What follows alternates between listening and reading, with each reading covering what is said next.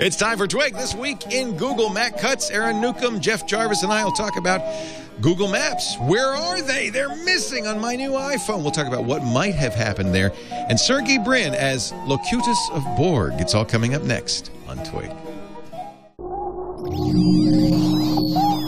Netcasts you love. From people you trust.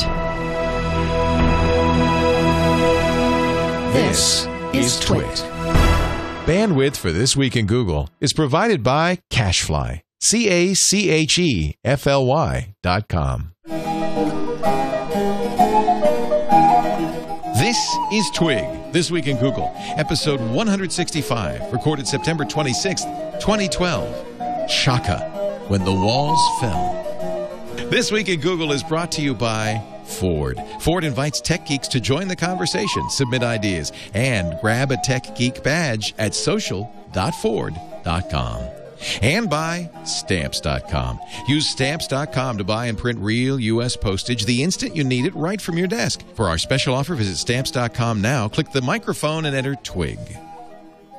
It's time for This Week in Google. And before we go uh, much farther, we have a great panel. I'm going to introduce them but our uh, we can finally let it be heard. Actually, let me help. Let me introduce Jeff because Jeff can help me on this. Jeff Jarvis from the City University of New York, where he teaches journalism, the author of What Would Google Do and his brand new one, Public Parts. He blogs at buzzmachine.com. Hi, Jeff. Hey, how are you? So our cohort. Uh, we missed dearly, but for good cause. Yeah, Ms. Uh, Gina Trapani was not here last week, and we didn't really know exactly uh, why at first, but she then sent us an email. She said, uh, that her wife had to go into the hospital, and we were a little bit concerned about that. But it turned out she was in the hospital for a happy reason. She was indeed, and right after the show, we got the email and showed it to Leo back in the studio, and that uh, five weeks premature, but they are the proud mothers of a baby girl named Etta. Oh, and let me show you because she did tweet the picture, so it's public. Oh, she did. Oh, I it's public it. knowledge. It's on her Twitter. Dear Internet, last night my oh. daughter was born. Moms and baby are doing great. Meet our new baby girl. Etta. So congratulations to Gina. What what is her wife's name? I forgot.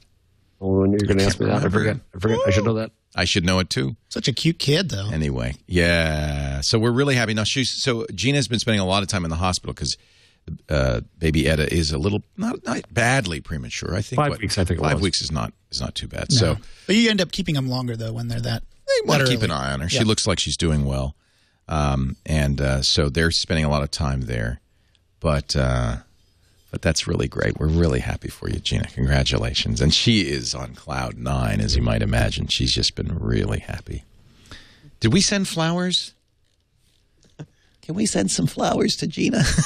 now let me introduce the panel. So that's why Gina is gone this week. She may be gone a few more weeks because she really does want to be there for Baby Etta, but she assures us she's, she's not abandoning the there. show. Yeah, she will be back.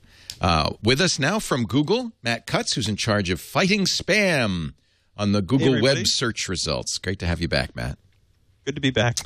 And uh, also, uh, we he seems he seems to be living uh, here lately. Uh, we welcome uh, also Aaron uh, from Oracle or Sun or a witch. I can't let's ever. just go with the source show. That's that way better. recuses my, me of saying anything I wouldn't want to say. Aaron Newcomb, who is has his own podcast called the, the, Source, Source Show, mm-hmm. the Source at thesourceshow.com, but also is a regular on Floss Weekly and right. uh, was just on Alan Ball about Android like like a couple hours ago. Yeah, right, literally. yep, last night. So anyway, it's great to have you, Aaron. Thanks so for we'll make this we'll make a deal. When we talk about Java, you can recuse yourself. When we talk about uh, Google, you can recuse yourself, Matt, and that way uh, everybody will be happy. Because we are going to talk about Google just a little bit. In fact, quite a bit. Yeah, uh, lots of news. Our top story really uh, has to do with Google Maps, and this is a story that's been breaking uh, even as we speak.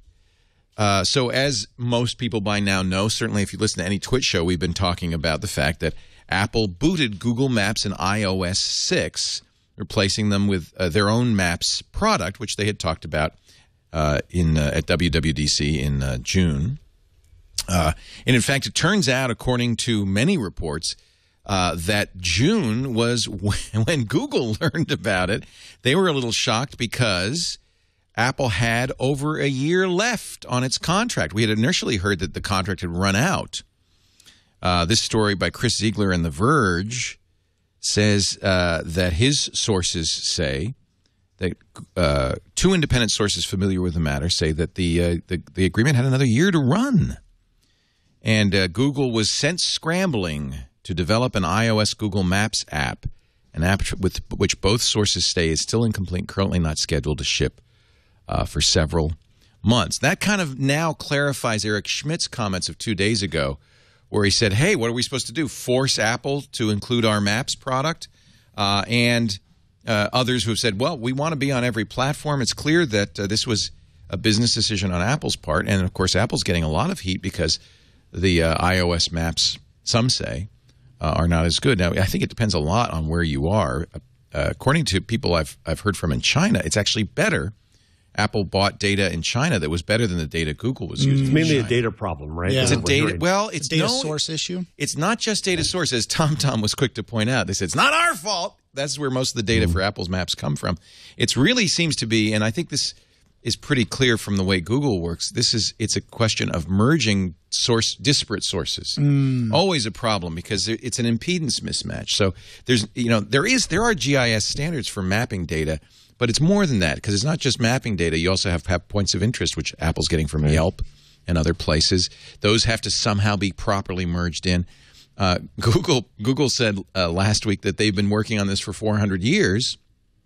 Matt, can you explain that uh, number? Because Actually, that's a, that was an interesting. The headline on that story said Google's been working on it for over 400 years, but Google never said that. You know, I hate headlines. Yeah, like, I get bit by mean? headlines every single show. I don't, so what? Google was essentially saying though that a lot of manpower. Yeah, uh, there have been a lot of stories that point out that mapping is really hard. Getting Yes. the points of interest, aligning things, all those street view cars. There was an article in Business Insider several months ago that claimed 7,000 Google employees work on maps in various different ways, or, or Google contractors and people like that. So, I mean, mapping is fundamentally a very hard problem, and uh, and and you know that's just the reality of the situation. It's it's going to be a difficult problem. So. Yeah, I wonder whether Google isn't, you know, I, I, I, I probably wasn't planned this way, but I wonder whether Google isn't just as well off for at least some delay because uh, Apple Maps are getting some crap out there. People do miss their Google Maps, and gee, it was Apple's fault, not ours. And uh, maybe maybe some of you don't really want to go running out to buy that new. you got to be really careful though in in uh, in today's world. You can you can't be too anti-competitive. So I, the last thing you'd ever hear Google say is. Yeah, yeah, well, yeah. You go enjoy those Apple maps. We still got some good maps over here on the Android side of the equation. Uh, but I well, think that that's was- the case right now, anyway. And you're right; it's probably good for Android. Well, and it was kind of funny because uh, you know I'm far enough away that I don't I don't know all the internals of those kinds of negotiations, of course. But you know, you read the headline or the story that says there was a year left on the contract, and, and that you know sounds plausible. I, I can definitely believe that. But it is the kind of thing where if you've seen the the Tumblr of the different iOS six stuff. Uh, there was one that had uh, a route to the San Jose airport, and it went over the you know, the runway, and so that You really wouldn't want me- to follow that map. Uh, that- yeah, that that made me gasp. But uh, but it's definitely the case that it'll get better over time, right? It you know This Yeah, is is this would- is the Tumblr that you're talking about the amazing iOS six maps. Yes. The amazing iOS six maps uh, dot tumblr dot com. I've got a few of them uh, here, and and they are they're, they they really show a world that is very different. For some reason, that's white. I don't know why somebody painted the landscape white there. Here's the one you were. Uh, the Helsinki Central Railway Station is a park. But you know, you expect this. This is it's a big world. I don't expect it. This is Apple we're talking about. I personally feel like they should have tested this a little bit more thoroughly before they put it out. Yeah, but you know, how many of their services have they messed up? Remember back to various of their cloud services that were horribly messed up at the beginning. They make products a different way, but services at Apple have never been, uh, well, not never, but have often been messed up on launch, no? Yeah, I, Apparently, the Huey Long Bridge is available at Home Depot. Uh, that's that's good to know in New Orleans. New Orleans is actually more messed up than, than other, many other cities. The, it was a hubris. You think that Apple uh, thought it could do this? It was interesting because remember, just before WWDC, Google held a hastily convened mapping event, at which they showed the 3D, the new 3D map views that they were getting by plane, and and I think uh, there've been a number of articles before the iPhone 5 was announced and before it came out. Uh, people invited into the secret Google Mapping Center and a tour of how we're doing it. It's clear that all along Google's been saying exactly this.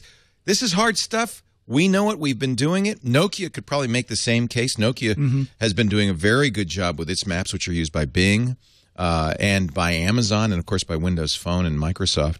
Um, is it hubris? Did Apple did Apple bite off more than they can chew? I mean, to me, it certainly feels like it was rushed. And and you're right. I mean, even Google Maps when it first came out wasn't you know like it is today. It's taken time, but And it's still not perfect. It's still by the not way, there's always little problems. but right? it just feels really rushed. And I wonder if there there to me that's the more interesting thing to think about. Was it a rush to get away from Google, or was it a rush to get because they really saw the intrinsic value of all the data that comes from having your own maps and getting people reporting their locations back to you or was it just coincidence that it just happened to be you know they happened to not see these problems when they were testing it i don't know it's very oh. clear that this is from a, a business decision. Mm-hmm. And I think some of the criticism Apple's getting is from people who said, hey, Apple, you used to say you cared about users and the user experience, but clearly you've made this decision that is not best for user experience for business reasons.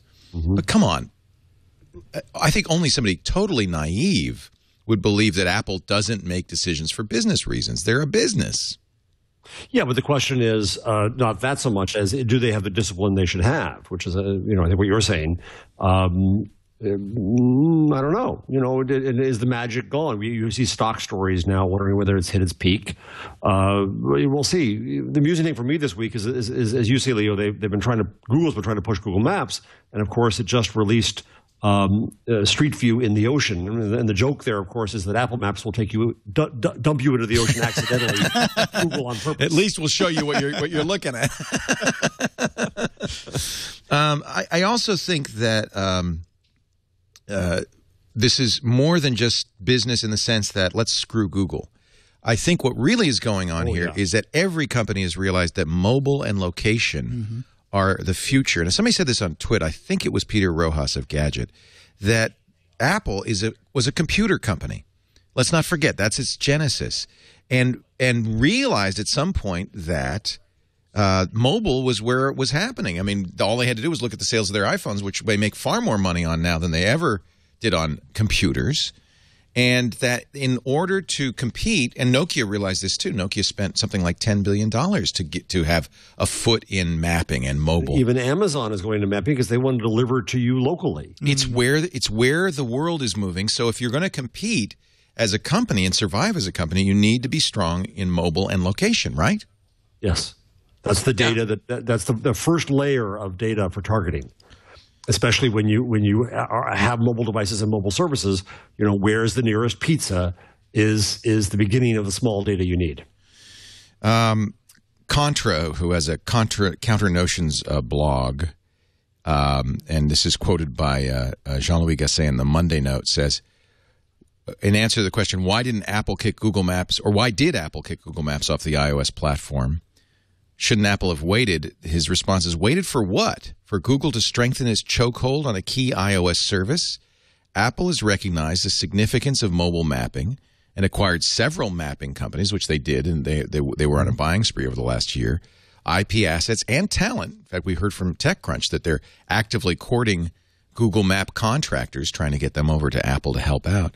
Mapping is indeed one of the hardest mobile services, Kontra goes on to write, involving physical, terrestrial, and aerial surveilling or surveying, uh, data acquisition, correction. That's maybe where Apple's fallen down. Tile making and layer upon layer of contextual info married to underlying data, all optimized to serve often under trying network conditions.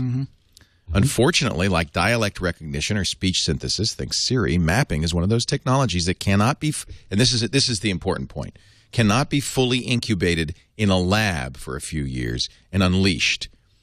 You need to put it out in the wild for it to mature, and that's what you said. Uh, that Google Maps, Jeff, when they came out, weren't great, but they have been around now for how many years, and Right, they've I been mentioned- collecting a lot of user data, so they have gotten better. Apple needed to do this. Apple's never been hesitant to to take a you know to to bite the bullet and do something that's tough in order to be competitive. Used to get, brag about the number of data points they've gathered on the maps Right. through use, which really matters. But as I said on the show last week, though, I think it does become a new splitting point here. Is that the reason that I have now switched to my Android phone is because of Google services, Yikes! right? And it's my it's my Gmail and my calendar and all that. But Maps is one of those. And I think that for, for iOS users to say, "Oh, we have the latest phone, we have the latest phone," and well, where did what happened to my darn Maps? And yeah, it's a business decision on Apple's part. But the other thing you have to ask is, don't you have to super serve your customers?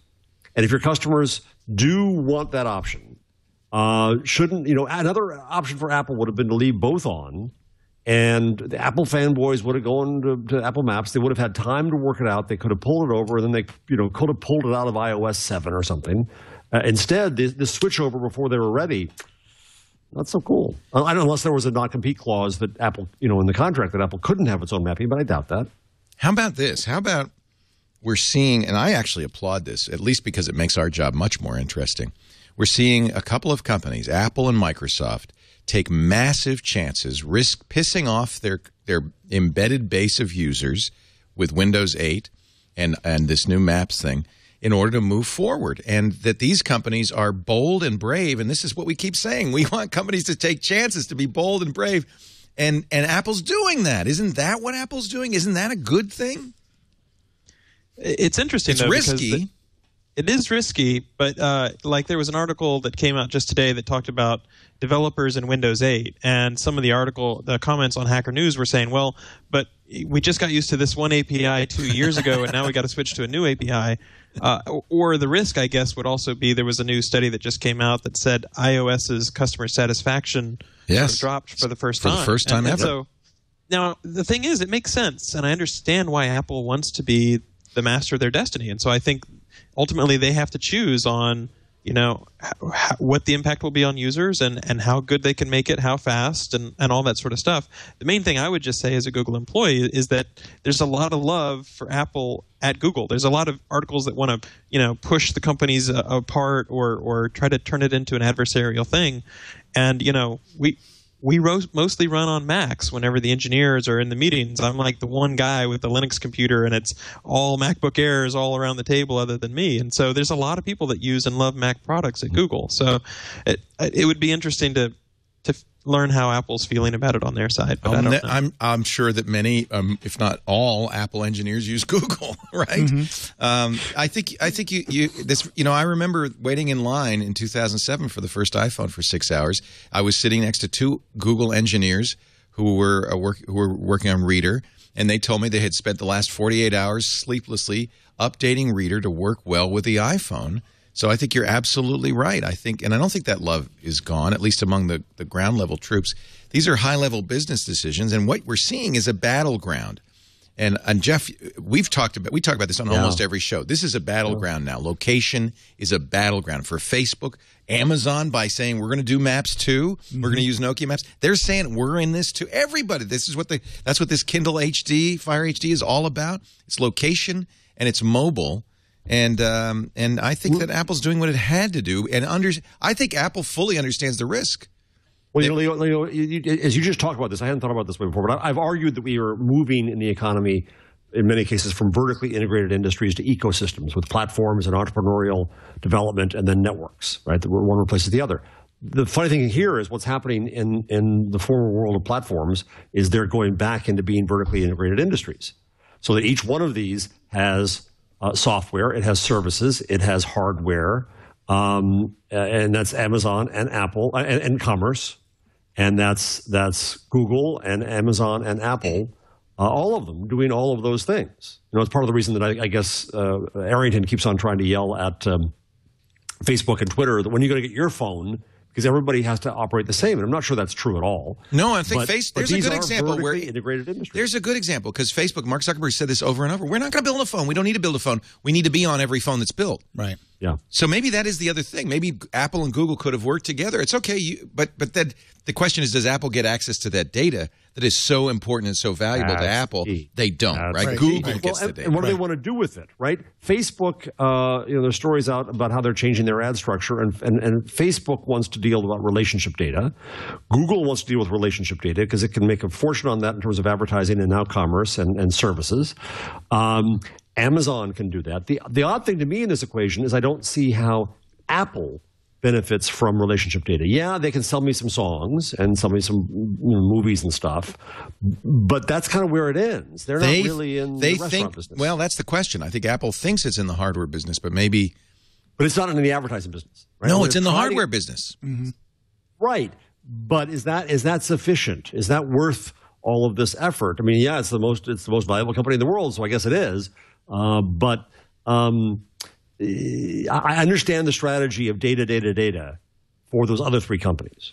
I don't see a strategy yet out of Apple for how it uh, Good point. really maximizes and optimizes the ex- exploitation of that data. Good Do point you, do you guys think I'm wrong? I think they're building the foundation of that right now. I, mean, I think that's what this is all about. Yeah, maybe they can't capitalize on it right now with what they've got, but that's what this is all about. They're building that foundation, they're gathering that data, and I'm sure you'll see services come out um, based on this data later, like in future releases. that's a reinvention of the company now yeah, though. absolutely. But they've taken like what they've done with iTunes, for example. I mean, that was they were one of the pioneers of this. but they I always think. said we don't make money on itunes it's to sell hardware uh, true. They do make a cut though, right? they make 30% so which just they say no i don't know claim covers the costs if it's in their interest, in other words, to to recommend another album based on you know my interests. Let's say It's- I'm interested in this, this, and this. Wouldn't you like to buy this?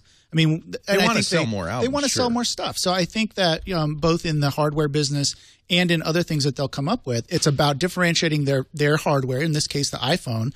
Um, in future versions with the data that they're getting right now, or they will be getting from their map services. All right, let me throw an, another data point in that may change everything. You want another one? This article just published in All Things D by John Paczkowski, who has excellent sources uh, in Apple. He says the talks between Apple and Google over maps crashed over voice guided directions. Multiple sources familiar with Apple's thinking say the company felt it had no choice but to replace Google Maps because of a disagreement over turn by turn. Spoken turn by turn has always been offered on Android as a free service, but it was never part of the deal that brought Google's Maps to iOS. Apple wanted, now this this is going to turn everything upside down. Oh. Apple wanted turn by turn, and Google wouldn't do it. It wasn't part of the deal, and Google would. Google's the one that wants to differentiate Go- in that scenario. Apple pushed Google hard to provide the data it needed to bring voice guided navigation to iOS, but according to people familiar with Google's thinking, the search giant, which had invested massive sums in creating that data and views it as a key feature of Android, wasn't willing to simply hand it over to a competing platform. This changes the conversation entirely. It, it's now saying Apple wanted parity with Android, and Google said, nope, we're going to keep that benefit, which is a huge benefit. And as a, is, I think it's the reason a lot of people move to Android is not just turn by turn, but turn by turn with Street View. So that when you pull up, Dvorak's like discovered this and he can't stop talking about it. Like John, it's been here for years. when you pull up in front of a place, it shows you a picture of where you're going, which is hugely valuable. Oh yeah, that's where I'm going. Uh, Apple wanted it, and Google said no. How about that? So that says that that that right, you're, it turns it on its head. That Yes. says that I'm full of crap, and that the strategy in this case. Notice I saved that till after you. I let you. I let you. I gave you a bunch of rope. Ah, thank you very much. Uh, No, because I think both for. points of view are commonly held. Well, not both points of view. Your point of view, and I would say I held it as well, is that this was Apple saying, "Hey, it's time for us to get in location," and maybe is Apple just saying, think that it could really hurt. So, so that goes back to my earlier crack about Google saying, "Hey, what the heck? If we're not on there for a few months, Big what does it deal. make?" Very interesting. I don't know who's right on this one. Uh, one source familiar with Apple and Google's negotiations told All Things D, quote, there were a number of issues inflaming negotiations, but voice navigation was the biggest. Ultimately, it was a deal breaker. And that's when Apple quietly began acquiring mapping companies, fast tracked development of an in house maps app with turn by turn, right? With an eye toward making it a tent pole feature of iOS 6, and that's when it decided to dump Google Maps entirely. Now, I think because uh, of the uh, brouhaha over Google Voice, the Google Voice app, where Apple did not approve it for a long time, didn't say they hadn't approved it, just didn't approve it, and then got a letter from uh, was it uh, Markey? I can't remember somebody in Congress, and then the uh, Department of Justice saying, "Hey, uh, can you explain this, uh, Google? Why are you saying no to?" And they said, "Oh, no, no, we did not approve it. We approve it. It's approved." so I have a feeling, uh, and ever since Chrome and everything has been you know instant. So I have a feeling, even if Apple would like to say no to a Google Maps app, that they'll have to say yes. The rumor is that there is one in development, but it won't be available until maybe Christmas at the earliest. You- you- Matt, I, and I, I want to say this up front is not speaking for Google uh, when he's Yeah, on this yeah. show. He's and on I'm as a far enough away that you know all I all I know is you know whenever I can test software internally at Google, I enjoy testing it, but I have no idea about Okay. what negotiations happen or or, Or you know, whether whether there's an app in- in development. You can you can tell us what you're dog fooding. Then go ahead, go ahead, tell Yeah. us. Do you have an iOS Google Maps app uh, lying around? Well, no, unfortunately, I use I use the Galaxy Nexus, so I, I, I wouldn't know anything. Convenient. About that. No, I'm sorry. We don't. You know, we'll never get Matt back if we do that kind of thing. We we don't we don't ever mean to put you on the spot. No, Hey, hey, apparently, we're nicer than spammers. Hey, let's talk about that. I want to take a break. When we come, transition. when we come back, Matt got a nice letter uh, uh, from Senator John D. Rockefeller uh, uh, on Tuesday. I'll put them out. Yeah, we'll, we'll we'll talk about that letter that uh, Rockefeller said, not just to Google but to Microsoft and Yahoo. But first, a word from our friends at Ford who believe in social too. Now, you would think, what? Come on, it's a car company. And this is I one of the things, one of the reasons that we're really happy to have Ford as a sponsor. And I think one of the reasons that Ford is uh, so visible in new media and podcasts and on websites is because they really are excited about the potential that uh, the 21st century consumer electronics technology, like smartphones and social media, can bring to a, a, a 20th century uh, industrial company like an automobile company. I think they've done it better than I know they've done it better than anyone else. I first really fell in love with uh, Ford Sync in my 2010 uh, Mustang, and I and you know I've been singing its praises. And then they added app links so that you could have uh, your smartphone apps talk to Ford Sync, so you could actually bring new apps into the car just by bringing in a, a, a smartphone. And now they've created a social site to help share the ideas, help uh, you learn about it. They've got a bunch of great articles, and I admit uh, they're great because I wrote one of them. Uh, actually, an interview I had with uh, Jim Buczkowski, who's a, a lead technologist at Ford. And then one of the things I asked him about was the AppLink API uh, for Sync and what apps might be coming. We also talked a little bit about uh, autonomous vehicles because I know that's something you all are very interested in. You can find that article here, uh, along with a lot of other articles about uh, Ford Technologies, your stories, of course. And I love this a, uh social suggestion box. Repl- Here's one. I love this. I don't, you know, and you can vote on these ideas. Replace the windshield with a 4K LED flat panel HD display with night vision capability the vehicle would have a steel metal covering where the windshield would be. I, you know, I wouldn't be surprised if that happens. But that's what's cool about this. This is a place where you could put your ideas, however, however futuristic or crazy or whatever. People can vote on them. You can read what other people's ideas are, and uh, you can see images and videos of Ford uh, owners and their vehicles. And of course, grab a badge. And there's some great badges. Uh, I probably will get the pony car badge, but there's lots of other ones, including I love this the Tech Geek. You're not uh, just ahead of the curve. You're the one leading it. Get the Tech Geek badge. I want this badge and put it on Twitter, Facebook, Google Plus. Uh, Send it to your friends. Add it to your email signature. I don't know. Whatever, you, whatever it is ki- the kids do with badges these days. I'm going to make a sash. oh, there you go. Yeah. Yeah, and beautiful. embroider some badges. I'm going to make a Dickie. Whatever floats your boat, Mr. Dukem. Social. Social.ford. Just something about the word Dickie. It just it makes you laugh. Do laugh. kids still wear Dickies? No. Oh, okay. Kid, people are watching have no idea what you're talking about. Oh, no. What's a dickie, Daddy? Don't ask me that, son. Uh, f- social.ford.com. Go there today and have some fun with it. It's really a great site. And by the way, the new 2013 Fusions are out. The Focus is out. The Escape is out. Look at the mileage that they're getting now on even though with these EcoBoost engines, even on gasoline engines, but of course the Fusion plug-in hybrid and regular hybrid. I mean, these just oh, they are doing some great, great stuff. Social.ford.com. Become part of the uh, Ford revolution. Go further in a Ford. So you got an uh, what, did the how does a letter from a senator arrive? Is there a, a footman with a silver salver? I mean, what? I actually got an email with an attachment. So for people What? who haven't seen the the article, There it is. Uh, this is the first spam Wow. complaint I've ever gotten from uh, Senate letterhead. That's and cool. it actually is a it's addressed to me, which is you know so somebody knows the right person your to send it title? to. Distinguished Is that engineer. Title? Yeah, that's my title, which I means I've been it. around Oh, at Google long enough. Wow. That's so engineer, comma Esquire. Exactly. Yes. Wow. So what's interesting is they did a 20-page report. They had Senate hearings on moving company scams. People who say it'll be $1,200, and then once you get things loaded up, they actually are going to charge you $6,000. And if you don't pay They- the money, they got your auction stuff. stuff off. Yeah. Um, and what's interesting is that they were really. But that's not your. that- How is that your fault? That's that's a that's, a real world scam. it's a real world scam and and we try to have a very light touch. We don't want to be accused of being the truth police you know and google decides what's right about vaccines or global warming or whatever. We try to just reflect whatever's on the web as best as we can in terms of relevance.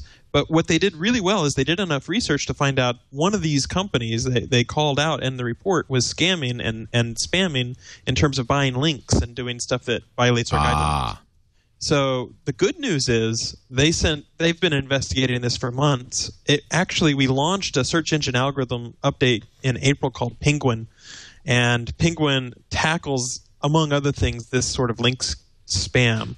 And so there the traffic to this website had actually gone down by 75% even without us Oh, that's knowing cool. that they were going to send us a letter. So we'd we'd we'd also cracked down on scammy link networks earlier this year, and we'd Mm-hmm. caught them in that roundup as well. So uh, you know, it's it's really just a great spam report, and we're going to investigate it more and see if there's more we can do. But I just love that, as always, Google's ahead of the government. That's that's the way it is. Uh, now, while we got you, Doctor Spam, uh, I've been getting. I don't know if you guys have gotten this. I'm getting a constant barrage of what you know look like fairly human. You know, they can spell uh, emails saying, "I want to talk to you about uh, uh, submitting a blog post to you." On all these various topics, and I asked on Twitter with other people getting it, and all the bloggers I know said, "Oh God, yeah, tons of them." Have you seen Yeah. those, Matt? I have, and so you know, the spammers they'll move from the easy types of spam to the slightly harder because they they try to be lazy. So it used to be the case that guest blogging was a very respectable thing. You'd handwrite, you know, something really thoughtful. There's a lot of guys who are now writing one article and they'll make 50 copies of it, changing a few words, and then they'll ask to do, to do a guest post on your blog, and they're just doing that to try to get links. so it's it's it's uh, another form of link farming in effect because but in a more legitimate way because th- then they're going to get all the Google juice that's available from uh, Jeff Jarvis's blog. That's right. Not and sometimes they are much legitimate. yeah, sometimes they are real. It's just a lot of the times it's it's somebody who's writing 500 words. They don't know anything about it, and they're just basically asking you for a link, and they're going to wrap it in some some prefab text that they've written. I, I love I love that they mentioned the Cornell Gymnastics Club in the letter. I don't understand that at all. Yeah, they actually they did enough research to find out where they were getting links from, and so there's like the bo- the muscle building link forum, you know, and all this kind of stuff. Oh, so people. Oh, so there are forums that are not moder- heavily moderated or properly moderated. They're jammed with links. That's right. Spammy and and it looks like they'd also been doing a lot of paid links. There was a hmm.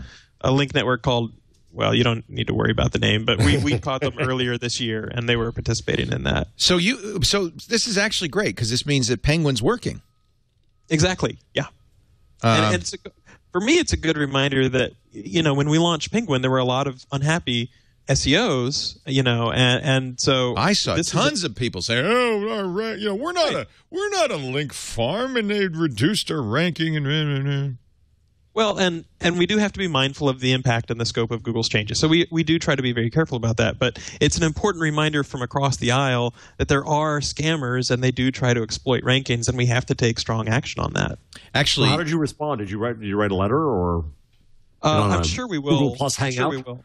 Okay. Yeah, yeah. Just hop in and hang out with the senator. Um, We've actually already taken action on several domains. In fact, almost a thousand domains uh, because there were clear spam violations here.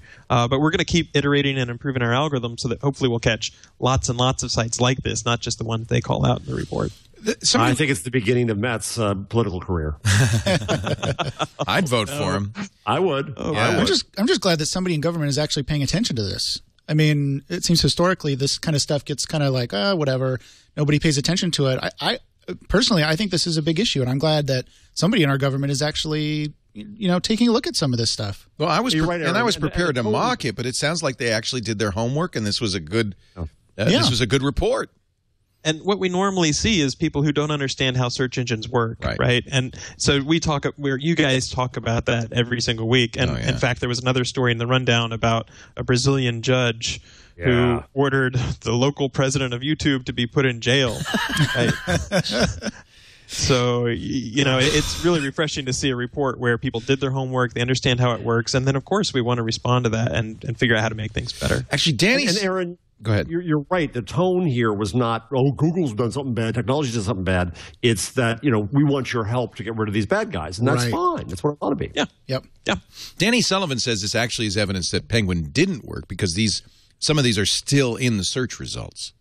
Yeah, uh, it's interesting because when we started to dig into it, we found almost a thousand doorway domains belonging to this guy. So we had affected the main site that they used, but we're going to have to, you know, do some research.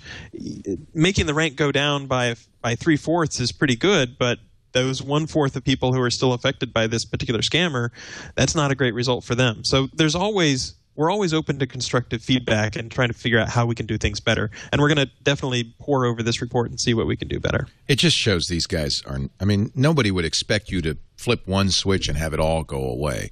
We have plenty of experience with email spam to know they these these guys are like cockroaches.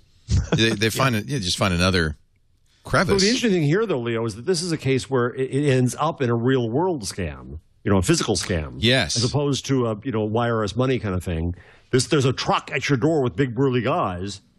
Um, We're "You seeing more and more of that because what's happening is con, and that's what started with the those uh, Nigerian uh, email scams. The con men are taking what would normally be real life cons and bringing them to the internet and and finding a whole new uh, way of exploiting people. I was I was talking to a real estate agent. Uh, about fake Craigslist listings. And I said, Well, how could you fake a Craigslist? She said, What they do is they steal our listings with pictures and everything, create a Craigslist entry, but say the owner is out of the country. So what you should do is mail us some money and we'll mail you a key. Or you should come to the house at three o'clock. I'll be there with the keys. Give me the money. And they so they're able to get the money and and skedaddle. bef- In fact, she said this past weekend, uh, one of the houses that they were leasing, the owner came and there was a family living there, and the and, and the family said, "Oh no, uh, yeah, we just rented it." He said, "No, you what? No, you didn't. I'm I'm still showing this." And they had gotten keys, they had gotten in, they had moved in, they were living in the house. Wow. So And they- uh, this is not. I mean, and that's a Craigslist scam. But the point is that these are what would be traditional real life scams, just moving to the internet as everything else is. Be Yeah. aware of it. And you'll and you'll probably see more. Just earlier this month, uh, this guy who was working for a site called Decor My Eyes. His name was Vitaly oh, Borker. he go go to Yeah. jail. Yeah. Go he directly just to got jail. convicted. Yeah, That four must have made you happy because he was the guy we talked a lot about it who was saying, "Yeah, when I when I uh, when I yell at my customers, it's good for my Google juice." yeah, Uh, it- I, I'm really happy that that technique is probably not going to be more common because you don't want to go to jail for four years. Well, and it's and it's true. Is what happened was he would say horrendous things, and people would blog about it and post about it, and they put a link to his Decor My Eyes site, and that raised his ranking, right? But I think you guys, in fact, we even had you on. I think at that time, Yeah, Yeah. then, yeah. you Yeah, talked yeah. about responding. It, it turned out to be this news stories writing about the guy getting sued. That that was how he was getting the links. Right. It wasn't all the complaints that were helping him out. But nothing you can do. Nothing you can do about that. Hey Matt, are we going to ever see the uh, uh, uh, comeback of the uh, personalized domain blocking for search results? Wow, good question. Um, you can still there's still a, a console where you can use it. So it's not in the search results, but there's a Chrome extension, so you can use that. And uh, and there's also a console where you can go. So it's it's just things have to defend their pixels on the search results page, and enough not enough people use it, then we're more likely to turn that off. Okay, all right. And one other question: We were talking about this uh, either last week or the week before. The Pirate Bay autocomplete is that under you? Um, it's it's in search quality, so it's not me specifically that worked on it, but Okay. I know some of the guys that. So worked that on is it. the And- case that the the, the autocomplete uh, for when you start typing the Pirate Bay went away. You don't get a. You have to actually type the whole thing and hit enter. and hit enter. I Um, think that's correct, and and the the theory behind that is with autocomplete with suggest when you're typing something in, it's it's much more obtrusive to get up in someone's face and say, "Did you mean this? Is this what you wanted to search for?" Right. So if someone wants to search for X, Y, or Z, we return results for X, Y, or Z, but maybe we're a little more careful about what we suggest. So Is it's that a not right in slippery slope? That's a little difficult because is, wasn't it the the uh, German The first German, lady, the, the ex-president's wife. yeah, Yeah. who said, "Well, I don't want you to come up with is a prostitute when you search for me." But that's but those search results. Those, tell us how autocomplete works. They come from other searches, right? They do. They do. And it's it must be really great to be a policy or a lawyer person at Google because you are on the bleeding edge of these kinds of issues. But uh, we've actually come up with some pretty good policies. I think we're going to try to make those more public soon. You know, basically hate speech, porn, spam, you know, uh, there- there's a there's a very small category set of categories where we'll say, okay, this is where we don't want to get up in someone's face and suggest stuff that they don't want to see. But in general, it's it's by looking at people's searches that we help learn, okay, that people who search for this might also be searching for this. So here's a useful query for you to type in. So I think nobody would complain at all if you had a very clear set of standards. The risk, of course, is is just as you said, looking at you want to reflect the truth of the net and not be editorializing about it. So it's a very difficult line to walk. It is, and and I can imagine, you know, a situation in which maybe if there's something already in the web search results, so maybe there's been a newspaper story or something like that. So there's some evidence, you know, that this is already a controversy that people are talking about this particular search. Then it might make sense to show that search. So we're always trying to find the right way to Yeah. split the difference between free expression and trying to give people all the information they need and and still be responsible too. Very tricksy, very difficult thing to do. Google News, ten years old, Ten years. Hard they to had, believe. They held a party with a cake. because Uh, Google Online itself is only there. like twelve years old, right? So 14. 14 now. Wow. Wow. Google News was launched September 22nd, 2002. And uh, I've been using it religiously ever since. Yep.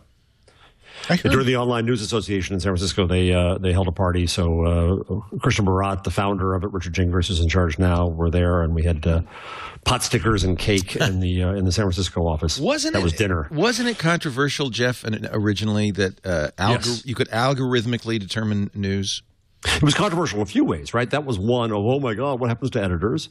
And then controversial, of course, in the other way of saying this is stealing our soul Oh, by yeah. taking a Well, picture of us, right? that's interesting still- news that's that still- just happened today. It's not on the well, it's not on the rundown.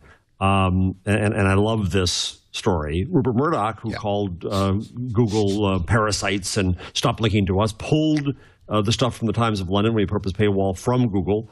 Just meek, meekly just came back and now allows Google to put up headlines and snippets because he needs them. Mm-hmm. He needs the eggs. Interesting. Because that was the issue. Is like, yeah, okay, so the snippets are there, but it links to your properties, Rupert. Well, it's not like exactly. So it's a great timing too, because right now, for Google's sake, right now in Germany, as I think I mentioned, we have a, uh, a high potential of a law called a Leistungsschutzrecht, an ancillary copyright going in, which would require Google and other Right. uh, aggregators to pay for snippets and headlines. That that notion is spreading to France, of course. crazy. Uh, So in the meantime, right now, Murdoch, the greatest Google hater there was out there, and now comes crawling back with his tail between his legs, which is where it is these days most of the time. It's essentially an acknowledgement that we could we it cost us Yeah, cost us Yeah, traffic. even with a paywall. Even with a paywall, so so you know he's he's still sending people to a wall. So it's not really an advertising strategy, but he needs subscriber acquisition, and if and and, and the Times is completely unseen in the conversation now. You don't even know it comes up that it, it mm-hmm. has anything to contribute to a cluster of news. So he had to be back in there, which is kind of beautiful. Yeah, I like that. I saw that. That was pretty good. And it really is all about eyeballs. I mean, people aren't noticing anymore. When it's not there, people don't notice. They don't see it. yeah, good luck having them find you. Whether you're making them pay for it or not, if they don't see it, then eventually Here's nobody's going to be paying for it. So You're right, Aaron, and, and, and you can get it back into Google search, but what you're not going to get it back into is Twitter or Facebook or Google Plus because you're you're you're you know you're not going to. If you send someone to the Wall Street Journal, at least it's a porous paywall. The New York Times is a porous paywall. Uh, New York Times has it set up so that any links will come through to the article. But the, but the Times of London, nothing does. Yeah. So I'm not. Yeah, You wanna see this, you gotta pay. subscribe. I'm not going to link to it. And, so and there's Wall Street Journal too, right? I mean, uh, you, It's not as as steel as it has some porosity. you see an excerpt, and I guess Google search res, or Google News gets you the full article. Still, And FT, no, no, they took that out. They took I, I that think out? they took that out. But F, the FT, you can get uh, some number of articles a month, like the Times. Now, contrast this. I don't know if you read David Carr's piece uh, about David Bradley, the owner of Atlantic Media, in the Yeah. New York Times. Really interesting uh, story. Bradley uh, thought there'd be money to make in, in magazines. so billion dollars later, he he, uh, he bought um, the the Atlantic, and um, he says it was expensive and painful. I clearly did not know what I was getting into. Um, he wanted to buy Newsweek, couldn't get it, so he bought the Atlantic in 1998 along with the National Journal and Government Executive magazine. So fast forward uh, to 14 years later, and he's doing basically uh, web business, right? He's doing great. Uh, he hired, a, I think, the most brilliant business side guy in magazines in the U.S. named Justin Smith, who was responsible for the launch of the Week. And Justin's been on a on a high end digital first view where he's pushed Atlantic online, made really Atlantic. You can read the entire magazine online. It's great stuff. They just started, uh, well, they just started this week Quartz, which is a new uh, QZ.com, which is a new uh, financial news service for the high Also end. free. Be very, very good. Uh, just the beginning of it, but really, really good. And there's a great quote toward the end of that article, Leo, where uh, Bradley says that digital trumps print and, uh, you know, 100% digital trumps print. And, and I think it's a really important way, which again goes against the religion of the Murdochs of the world who want to hold on, or the Columbia Journalism Review who want to hold on to the old models. And Justin Smith, with Bradley's backing, uh, created a new model in the Atlantic, and now they're expanding it with Quartz, and I, I imagine they will in other areas. Now, what they do is they go to very high end advertising. They, he sells Court- high end. Quartz has Boeing, Cadillac, Chevron, and Credit Suisse, and they've bought it out through the end of the year. By the way, They also create a scarcity that way. We have a high end audience. We have only so much. Very so it's, it's important. it's- and it's really good to see digital winning. It's good. It's not just good for my you know nia nia nia points. It's good because it's the future of media, and it's good to see some success stories. well, and they've been profitable three years running. That's the key. They were losing money hand over fist, and they are now profitable mm-hmm. by giving it away free ad supported media. I think this is. I, when I read this article, I, I couldn't wait to bring it up with you, Jeff, because it's just it's such good news. It is. It really is. Yeah. It's, it's a good David Carr column. Very good one. Yeah, and and and uh, yeah, maybe Rupert should read this. I haven't looked at Quartz yet. Is it good? It's very good. Uh, QZ.com, if you want to take a quick look at it. Uh, It's, it's a great you know, it's- URL. How do you get that? Huh? Wow. Must Uh, bought that's from some little bit, you know, Q, QTZ QTZ Q- QZ, two letters. QZ. Oh, there it is.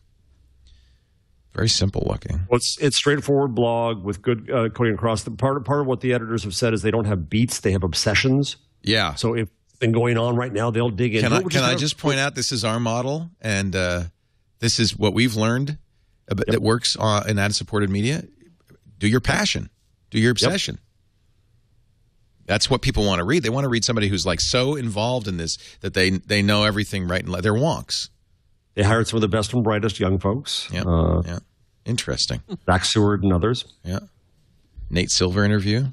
Uh, former head of um, uh, digital at The Economist. Very interesting stuff. All right. Moving on. Let's see what's next. Let's take a break and then come back with a, a little bit more. Have you seen Owen Wilson and Vince Vaughn around the campus, by the way, Matt? Uh, I can neither confirm nor deny that I've seen Owen Wilson and Vince Vaughn at the campus. Are you signed to an NDA or something? You know, it was funny. I uh, I did apply to be an extra, but yeah, because I thought that would be funny No for all kidding. the SEOs. But uh, my parents were visiting, and so I wasn't able to do much time, and, and so they were like, "Yeah, we don't really need you. Thank you." Oh, They're making a movie called The Internship, and they got permission. We talked about this last week permission to use the Google campus as the set, which I think is fantastic. It makes me want to see the movie. I can tell you that right yeah, now. absolutely. It's about what? It's about uh, two two grown guys who get an internship. Yeah, and I guess Google is kind of a very youthful place, and so how do they fit in? You know, fish Yeah. out of water sort of story. So It it's at Google. It's not like some uh, you know fake internet company. It's Google. Well, they they made up Georgia Tech to look like Google for most of their scenes, but then they did use the courtyard and some of the outdoor areas of Google for just a few days of filming. I think. And I guess Vince Vaughn, Eric Schmidt interviewed Vince Vaughn at an employee talk, and uh, Hugo Barra, among others, have been extras. You can see in the bus picture they splashed a huge Google logo on that bus Oh, that's uh, in that picture, and and it's.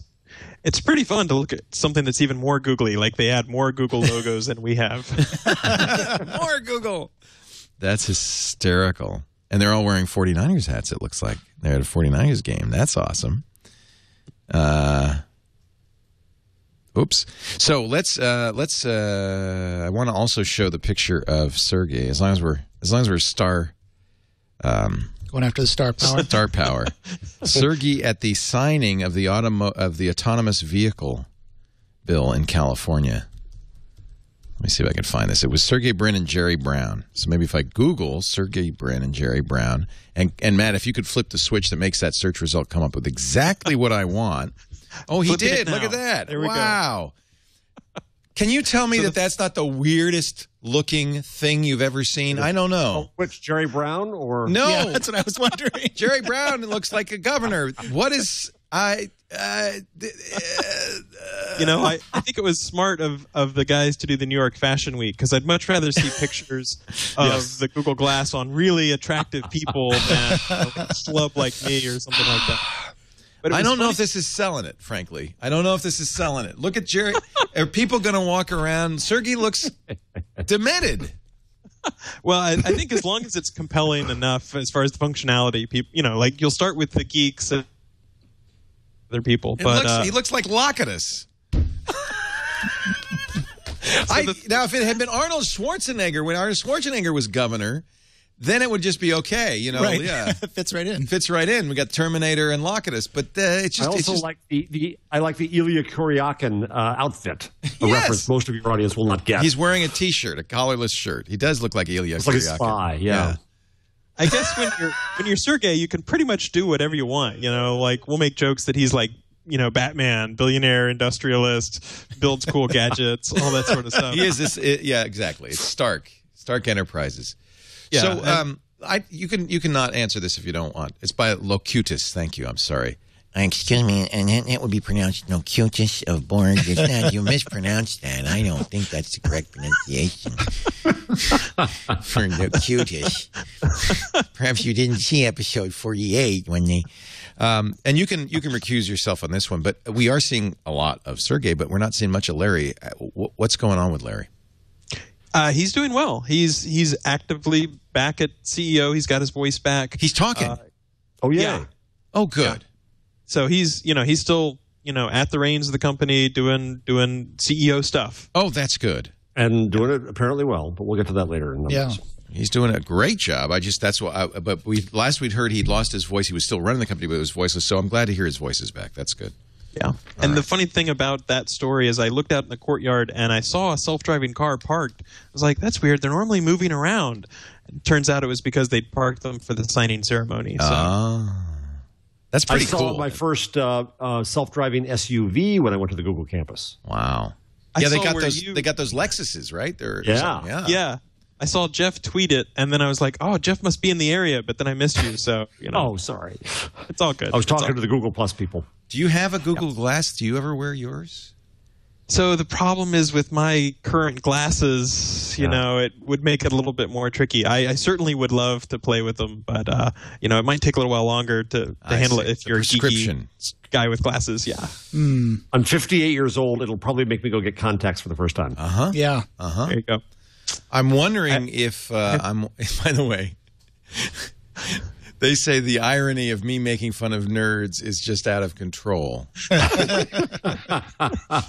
you are king nerd, Big sire. Ginge said the irony fairy just passed out.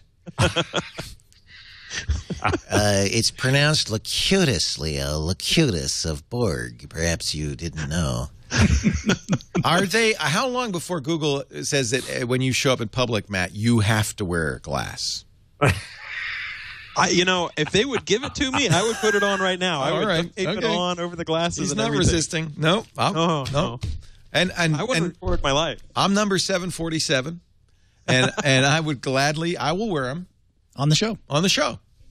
Just send them along. People would love to watch for, through your eyes as you do. Yeah, I wonder the- if you the can hook show. that into the uh, hook that into the system and I am Leo Cutis switch over of to- Borg. switch to Leo's glasses now.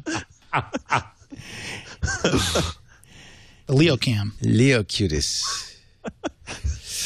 That, am I saying that right now? I don't watch that show. What is that show? Star Trek? Never heard of it.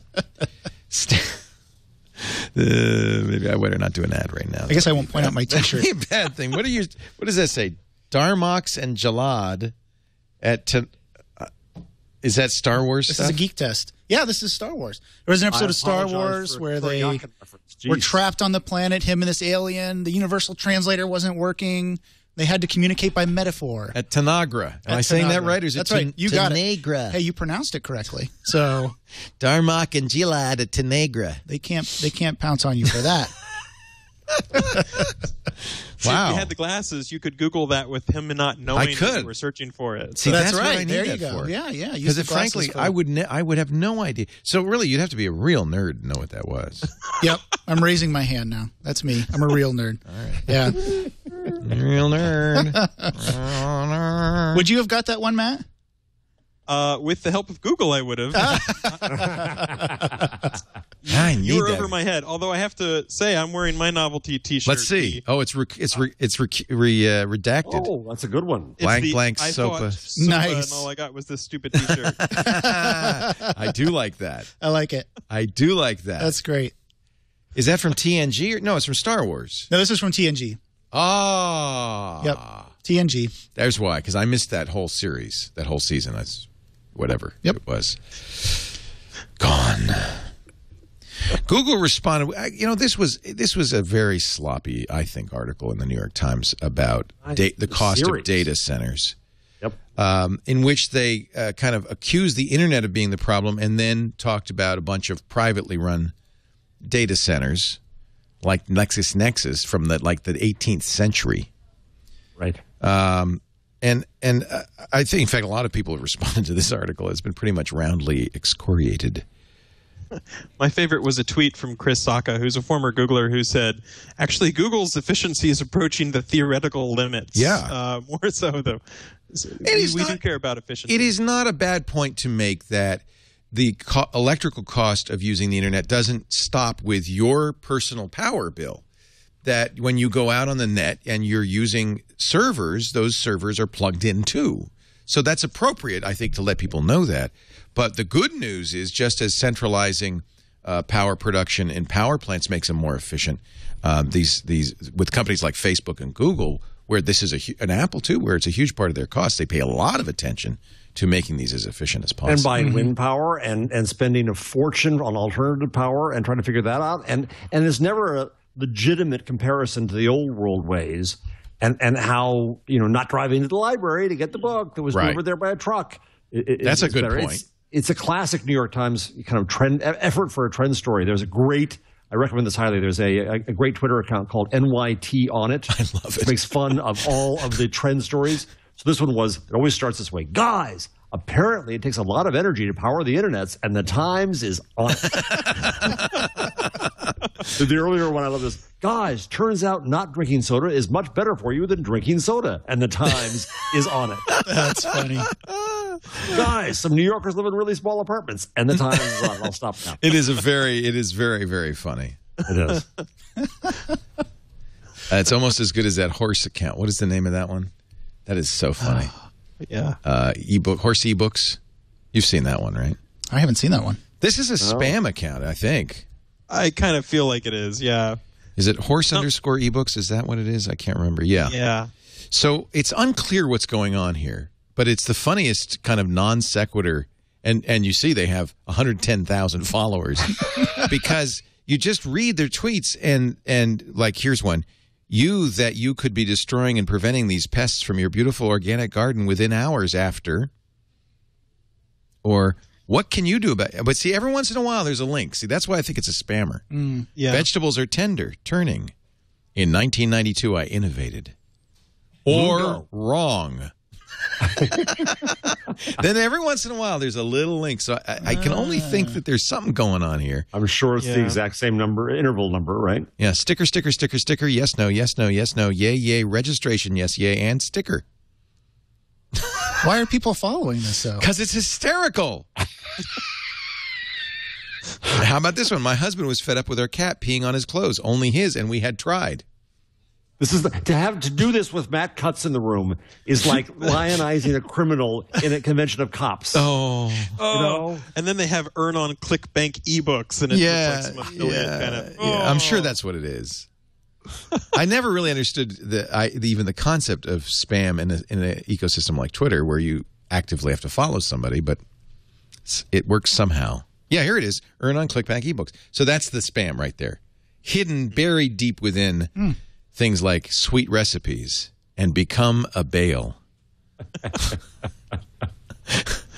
Uh, okay, enough of that.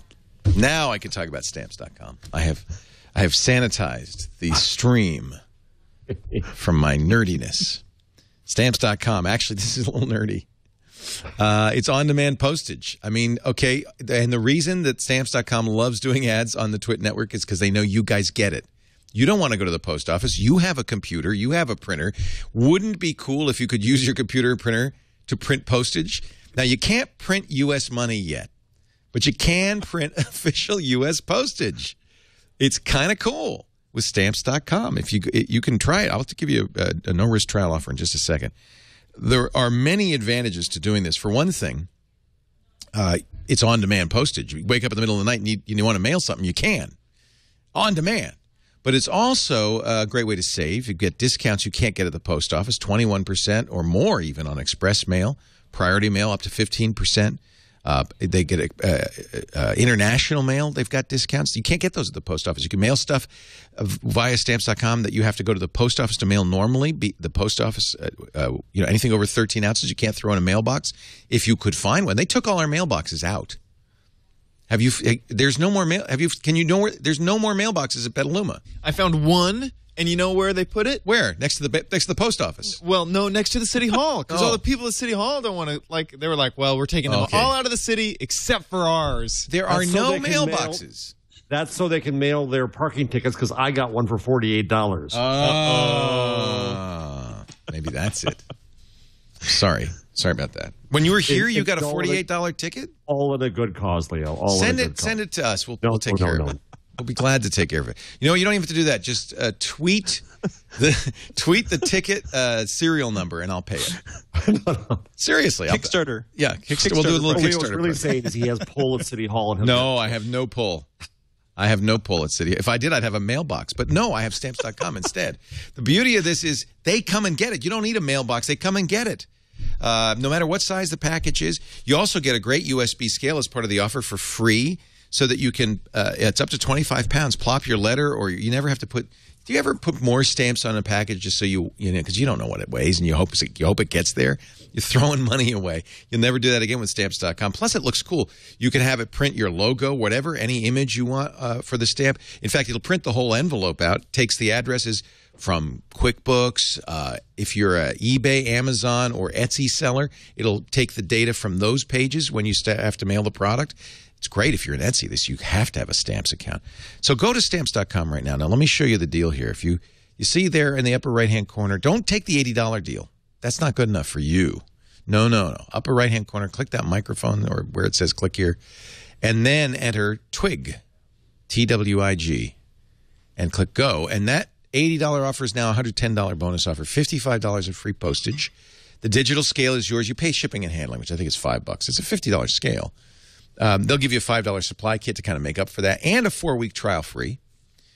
And if you can cancel at any time, you don't have to pay a thing, but you can keep the scale forever. I think you're going to want to stick with it. Stamps.com. It's, it's, the post office comes to you. It's fantastic. Stamps.com. What are you doing going to the post office? Now that's wasteful. That's wasting energy. You're worried about the Google network centers. This is waste. Driving to the post office, that's wasteful. Google Play. I just saw this a stat this morning. Uh, 25 billion downloads. Is that your number? I hope not, Jeff. It's okay. I got another one. Um, I, I, I took Aaron's uh, sorry. um, tip earlier, but but but did it quickly. I talked so fast nobody will remember it. Uh, yeah, so they're offering uh, a bunch of twenty-five cent apps right now as a promotion. Oh, cool. Awesome. I should The go numbers look. now are so big, it, it, it kind of 25 billion, 50 billion. billion. Ah, That's amazing. Yeah. And I think there are six, it says 675,000 apps. They're getting very close to iOS, which I think is 750. You know, once you At get this past- point. after a few hundred thousand, the, the difference makes no difference. All I was missing, as far as I was concerned, what I use on on my my beloved uh, Nexus Seven was HBO to go and Showtime to go. I now have HBO to go. I'm waiting for Showtime. And then then I'm good. I got it. Hey, as long as we're talking about that, this is the Kindle Fire HD, same size as the Nexus Seven. It's a little cheaper if you compare RAM. It's uh, it's 200 bucks for the 16 gig version, and they have a 32 gig. Although nowadays RAM, I'm not RAM storage doesn't seem that important because, frankly, almost everything you're doing on here is streaming. Um, and it is Android, but you'd never know that. I'll tell you, it's that it's that weird uh, Amazon uh, interface, which I've now somehow done something with, and I'm I'm lost. Oh, there we go. There's the New York Times. You know, it's fine. Um, the the whole equation is changed by the Nexus Seven because the Nexus Seven Yeah. uh, is is roughly the same price.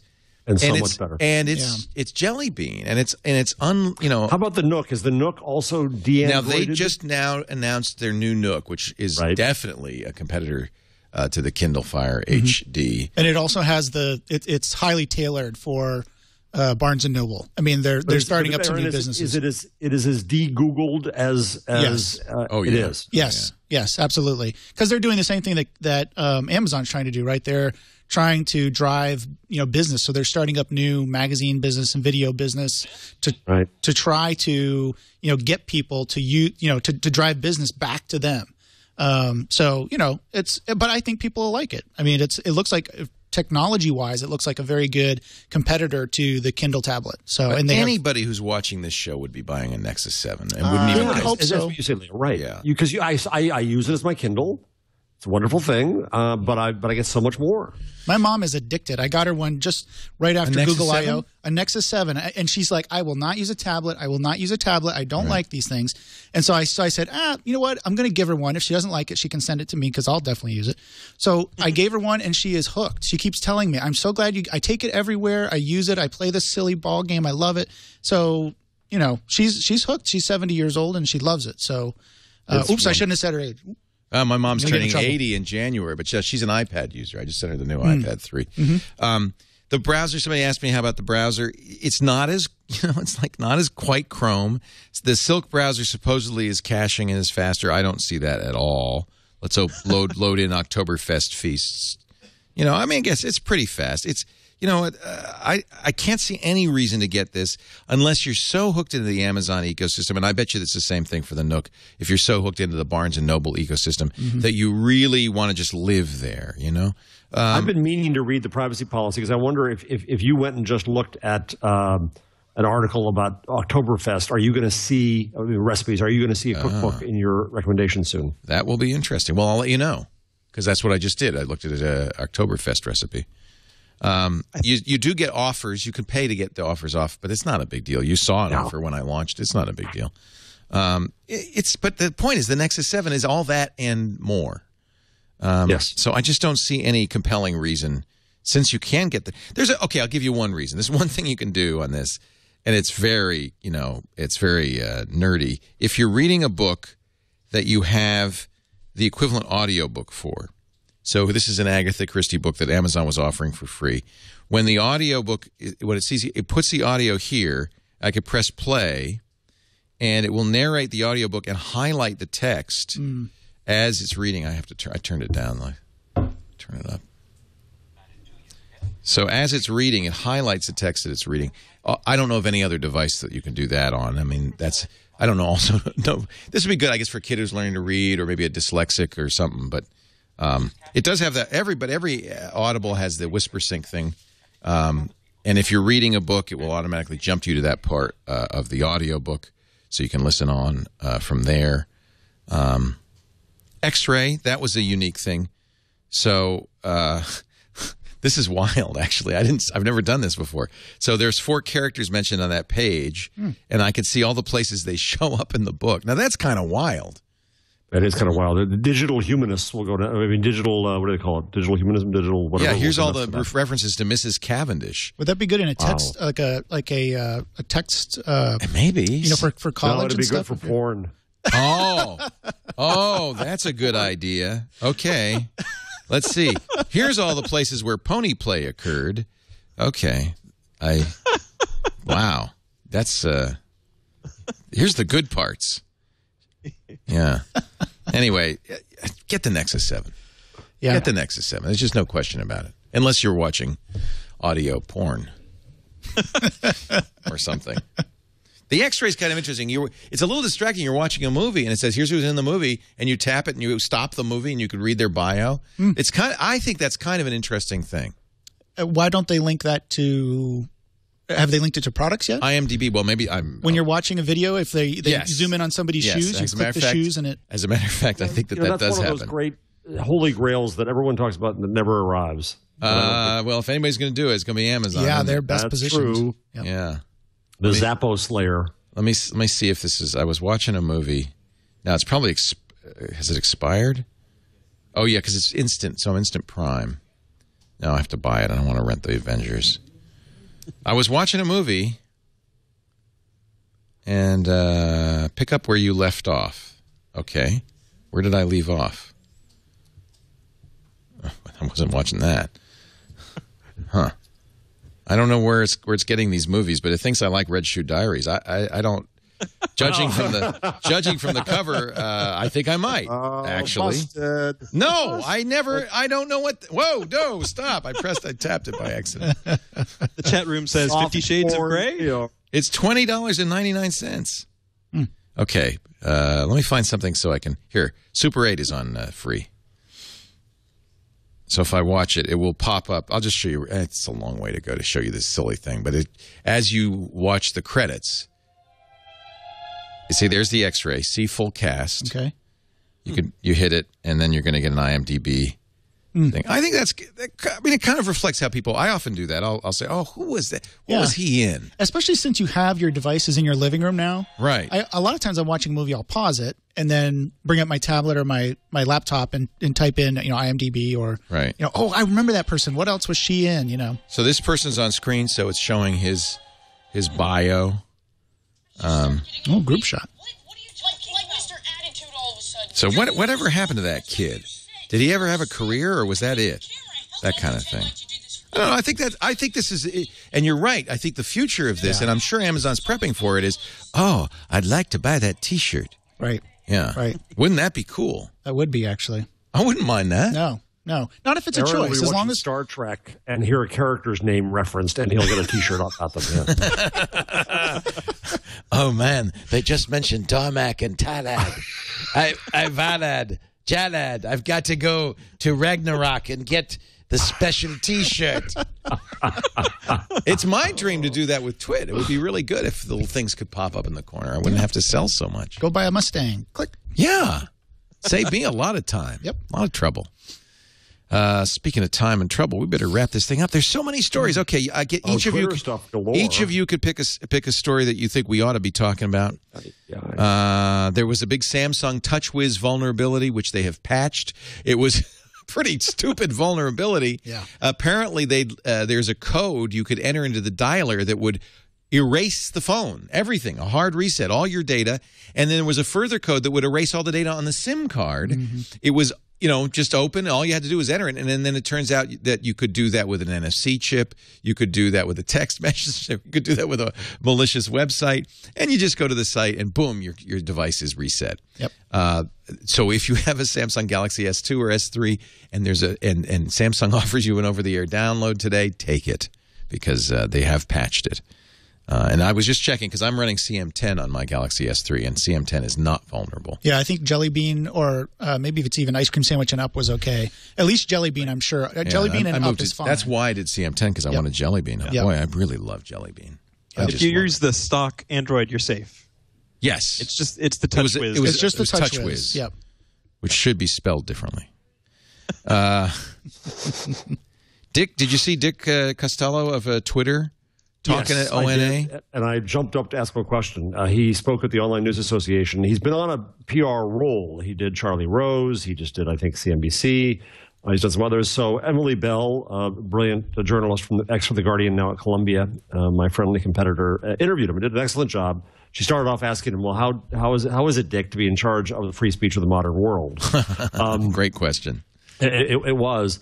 Uh, he got a lot of stuff about the platform. His his argument, which I, uh, you know, don't fully understand, but he was arguing that uh, what their aim is is to uh, enable people to accrete value. That that uh, you know, Amazon opened up its platform. It enabled other stores to come in to sell goods at lower prices than Amazon, but they accrete value to the customer and to the partner and to Amazon itself in that process. And he wants the same thing, but he but he keeps on talking about developing into Amazon, not on top of Amazon, Into Twitter Not or into- Twitter, into Twitter. that Into that would have been something. yeah, yeah. Um, well, you know, commerce partner. Um, if you blog about shoes, so so developing into Twitter, and I, don't know what that fully means. I didn't push him. I, I got up and and, and asked about the. Um, you know the communications, and then I uh, ended up and said, "Are there any more shoes to drop?" and uh, he said, "No." That was the headline. No more shoes to drop. So if this then that, Jeff, uh, it sounds like he they turned argued, that good- off. Great, great question, Matt. He somebody asked about that. Well, he said he said it had nothing to do with them and their platform. This is stories that come out. We should explain that they, they they were cut off from Twitter access. If this and that's a great website that lets you say, "Hey, if I if I see a tweet with this hashtag, then email it to me or do some other action." They no longer have that access. Here, here's well, here's the problem that that uh, so Dick said on the stage. Well, no, that, that people are saying that's the uh, the API has nothing to do with the API, and then he changed the subject. And then afterwards, I was talking to the good folks from Storify, uh, and they said, well, no, the the reason if this and that went was because they were storing and forwarding tweets, and you're not allowed to do that, which also could affect a place like Storify, though Twitter has said they love Storify. So eh, there are shoes dangling, I would say, Matt. Still, Okay. yeah. He also says there's he's got he's got a he's got a replacement in mind for the follower count. That's kind of a was- clout score. No, I think it was Ev. Oh, Ev that. said that. That's right. Yeah, Ev, uh, Ev, Ev wanted. Uh, he says retweets are more important than followers. I think that's that's kind of true. Mm-hmm. Uh, mm. you know, Yeah, I but, mean, but how many people see the retweet as your follower count? Well, that's that's what Ev said. And mind you, this was Ev was being impish. I saw Ev too at, at, at Medium, and, and some really interesting thinking that he's doing, of course. And uh, so I tried to talk to him a little bit about Twitter, and he just kind of you know shrugs. And so he did an appearance in New York this week at uh, with BuzzFeed and, and Branch, and I think he was being impish about saying, "Well, I shouldn't say things because I'm on the board, but." And uh, you know, he he made that mention of retweet being probably a more important metric, and said that the real goal, and this is this is this is I think very impish, because I've asked about this before. The real goal is to get a number of the tweets that are actually seen. You know, there's there's a huge Uh, impression, actual impressions. actual impressions of tweets, right? So I uh, my my follower list got so big, and I'm not going to groom it, and so it's a mess. So I use my media wonks list mainly. I read that every tweet on that, but I don't read every tweet of everybody I follow. Most don't. So there's a huge volume of tweets that are never seen by human eye. And for Ev to say that, that's kind of a little weak underbelly of Twitter there, I thought, which was interesting, but I think it's very honest. Mm-hmm. That if Twitter is going to argue that they have this value, they're going to have to get honest about that valuation because if they are a media company, and note they may hire a Hollywood guy mm-hmm. to be on their board, Peter Chernin, ex News Corp, if they and, and, and Costolo said, no, no, no, we're a technology company that is in the media business. We're not a media company. They're a media company. And if they're a media company, they're going to have to do things like measure accurately, and they're going to get audited for those things. So they better get their act together because that's what media companies have to do too. Real quickly, Marissa Mayer revealed. No, she didn't. Not really. She said she was gonna, but she didn't. Radical transparency, but she didn't say what she was going to do. Um, to an all hands meeting, she called it an act of radical transparency. Kara Swisher pointed out they didn't say no such thing. Anybody Car- else Car- bullish? huh? Is anybody else bullish on Yahoo? Yeah.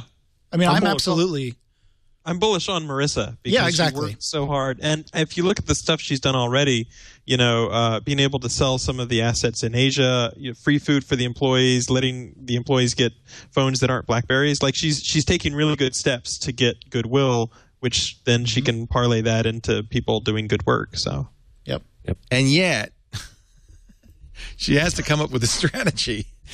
It's all it's all well and good to give people food. well, you know, I, I think we do see the, the glimmers of it. I think I think that what sh- and I, and maybe this is just me projecting on what my thoughts are on her, but but she understands excellent services, great experiences, and she understands data about people and acting on that data about people. And I think that I saw glimmers of that in what in what leaked out from from the session.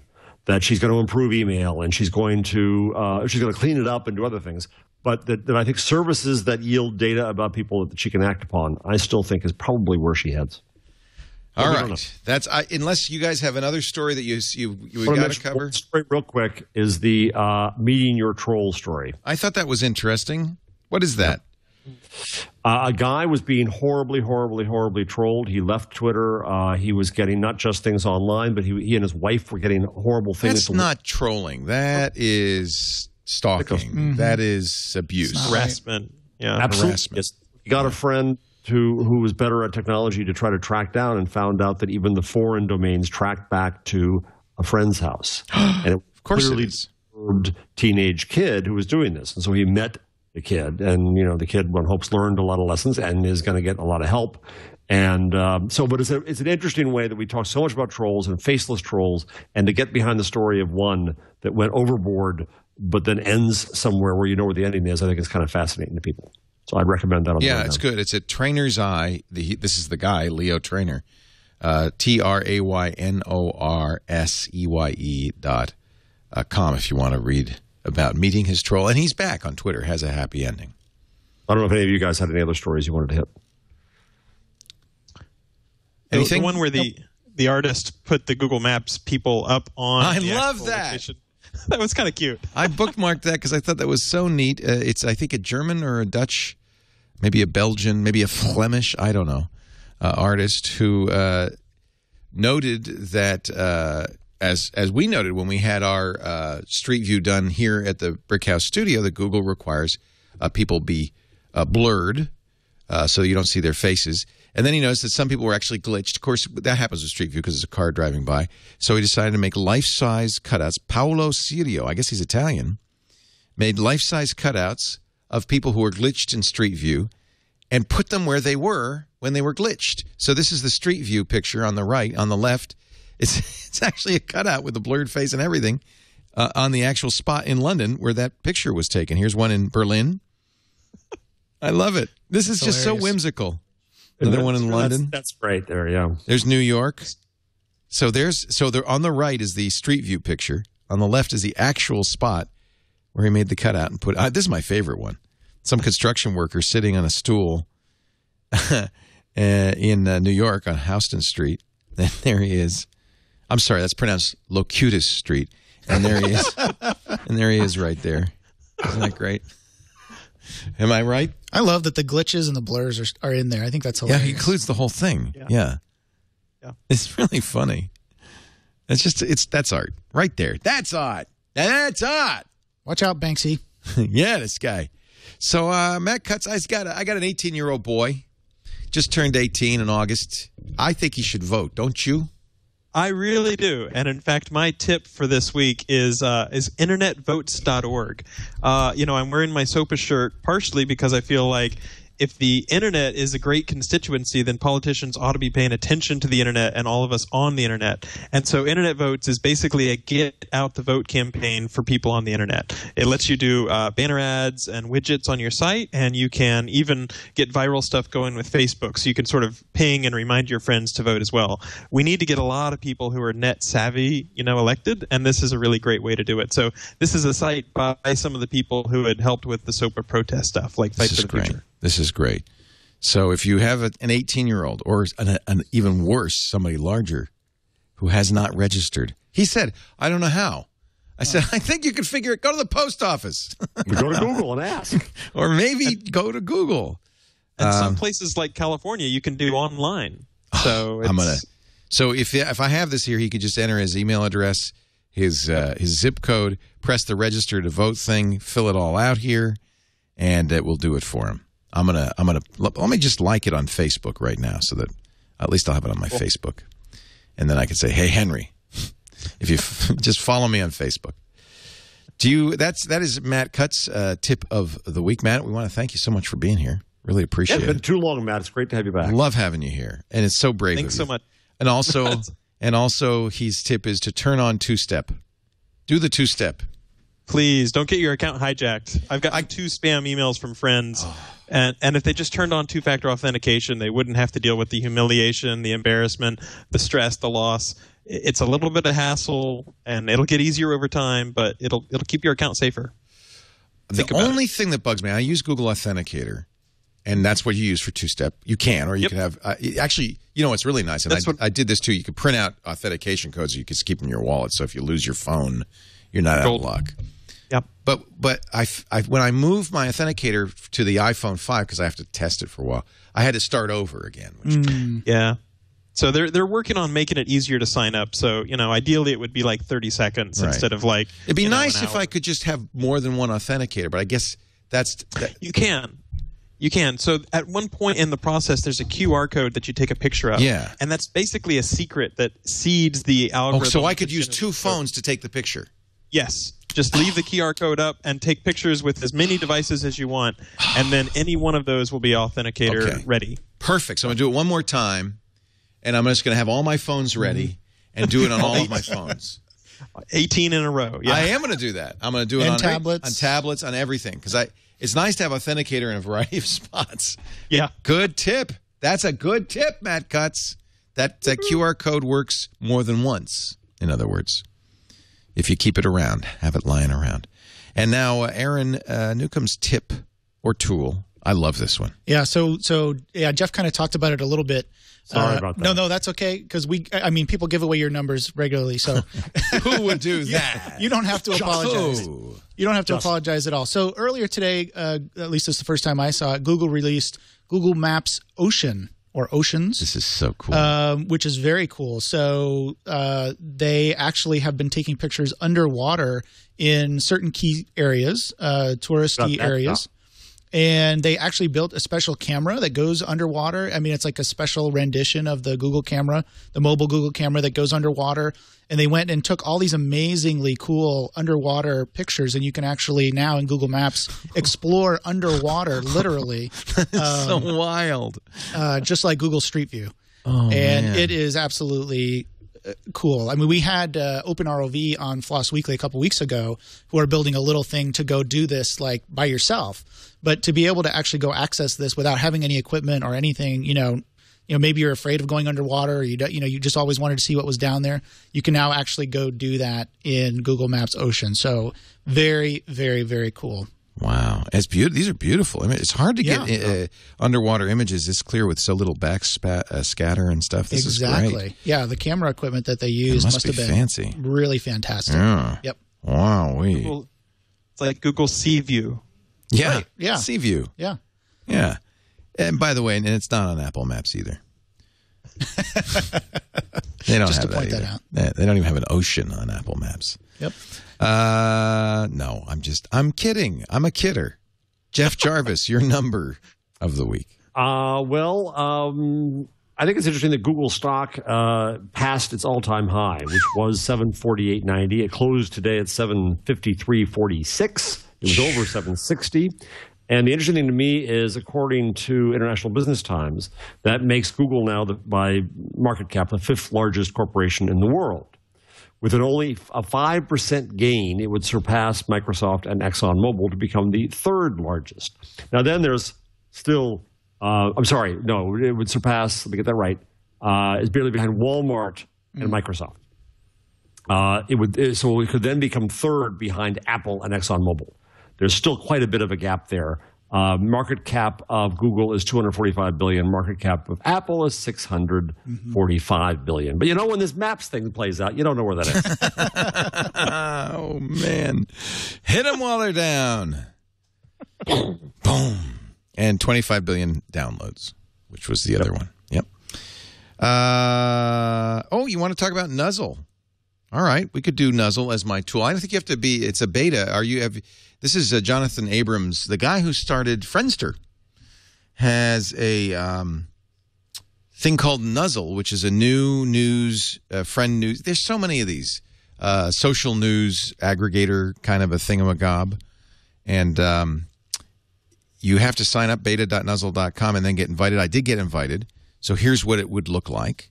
And actually, it's a really good sort. Did you do this? Did you put this in here, Chad? Because you're on Nuzzle. Who put this in here? Did you put this? I did. Matt. Cutts. Matt Cutts snuck it in. I'm sorry. No, It- I needed a tool. I appreciate it. That's good. I was going to do CM10, but that's good. I like it. so, so uh, this is this is Nuzzle, um, and it, I, I it, you know, it's there's so many social news solutions, but I do like I particularly like this one because you see all the tweets.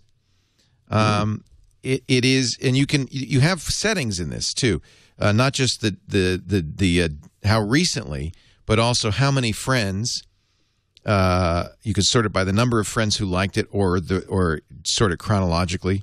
Uh, you could show stories that say uh, at least ten friends retweeted this, so that's going to give you a very strong, uh, you know, indicator that this is a story your friends are following.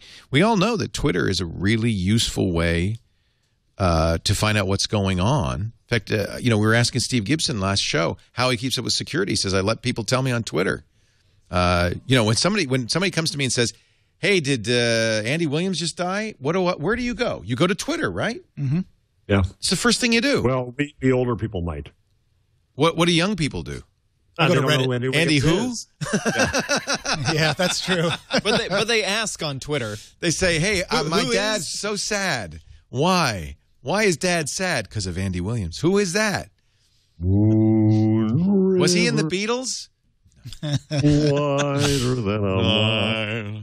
I'm gr- no, but it, I, is that a journalism bubble that we go and look at Twitter uh, when somebody dies? I think you do that, Chad. Yeah. Where Yeah, Chad yeah, is a sure. young a Absolutely. young person. Oh, when uh, it's it's funny because my litmus test was Balloon Boy. Like when bal- the whole Balloon Boy thing was happening, and I was still in college. I Where went- would you go to find I went the news? straight to Twitter. I didn't have a TV. You're not, but even if you did, you won't watch CNN. They No. won't know about Balloon Boy for days. right, right. And even if they did, the video wouldn't be available for Right. hours and hours. So uh, it's clear Twitter is a good signaling mechanism for breaking news, and this Nuzzle I think is an interesting idea. And it's I've tried, you know, I've also tried Prismatic, which is a uh, Petra uh, Petra's uh, husband's business. Um, she's a Google engineer. She's at Gmail, um, which is why I'm pointing at Matt Cutts as I try to remember Petra Cross. That's it. Brad Cross. Bradley Cross is her husband. Um, that's another uh, social media play. There are quite a few of these social news play. And Uh, I just love the idea of eh, you know you don't have time to pay attention to Twitter all the time. So if you're in an eight-hour set of meetings, you can come here and you can just see what you've missed. Yeah, what did I miss? And if you go, yeah, and if you go all the way down to the bottom, they actually have something that's like 50 more stories, and that will take out the people you follow, but it will show stories from the people they ah. follow. So you can kind of spread your your ah. viewpoint out a little bit. That's a good. That's actually a really good idea. And then you can look at other people's Nuzzle feeds. Nuzzle is a nozzle with a U. You're in the nozzle. I just got it. Anyway, thank you, Aaron Newcomb from uh, Oracle, and more importantly, from the sourceshow.org. Mm-hmm. Follow and obey. That's right. And you can watch me on Floss Weekly. You can also see me occasionally on All About Android. So, yeah. And he'll be uh, playing with Darmok and Jalad uh, September at, At Chuckles. Tanagra's Chuckle Hut. That's right. you can actually, if hey, listen, if anyone wants to get this shirt, you can actually get it on Spreadshirt.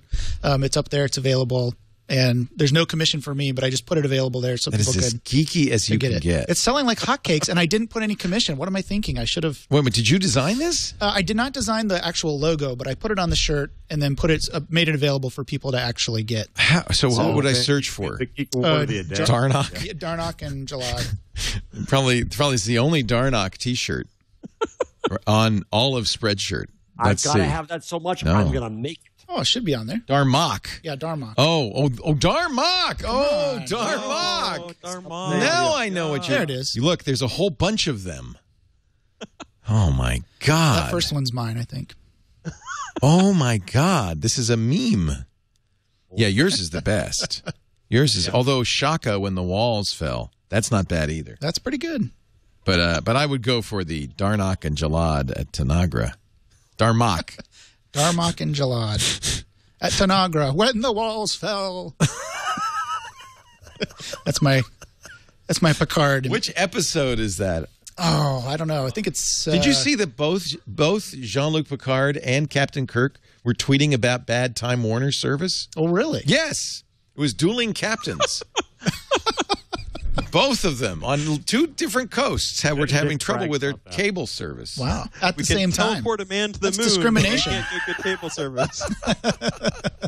Thank you, Matt Cutts. Come back soon. Thank you, Aaron Newcomb. You too. Of course, we'll see you next week. Maybe we'll see the new mommy, Jeff Jarvis. I We hope, so. Yeah, And Gina all of our Trapani. thoughts go to the moms. Our love and uh, support and happiness Yeah. to uh, Gina and her wife for that episode. Um, perhaps you didn't know, but it was Star Trek: The Next Generation in season five, episode two. Wow, really? Yes, maybe You knew that, Leo? if you'd been following more closely, you would have remembered that. I have it in my captain's log. I've been writing down every event that happens right here.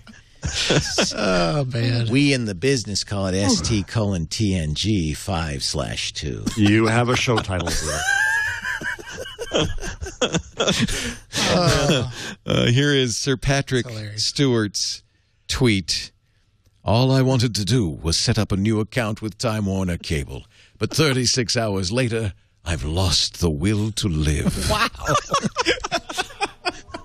it's the dramatic reading that really makes it right there. Yeah. I Yeah. interviewed Oh, him once. He's really just like that, by the way. He's just like that. He's a great Shakespearean actor, Sir Patrick Stewart. Thank you, everybody, for being here. Hope you enjoyed this week in Google. We do this show every Wednesday, 1 p.m. Pacific, 4 p.m. Eastern Time, 1800 UTC on twit.tv. Watch after the fact. We're on demand at twit.tv slash twig. Thanks for being here. We'll see you next time on This Week in Google.